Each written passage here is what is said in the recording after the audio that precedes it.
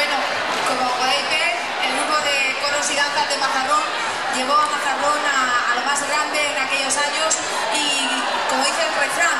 donde hubo fuego quedan brasas, en el grupo de coros y danzas hubo trabajo, ilusión, amistad y muchas ganas. Por eso, hoy en día vuelven a sacar sus trajes a la vista de las generaciones más jóvenes en la misa huertana que se ofrece en honor a nuestra patrona a la que os invitamos a asistir el próximo miércoles 6 de diciembre a las 7 y media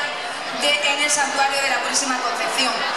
Y ahora sí que pediría, por favor, a todos aquellos que formaban parte de ese grupo de coros y danzas que nos acompañen encima del escenario para ese merecido reconocimiento que queremos hacer por parte del Ayuntamiento de Mazarrón.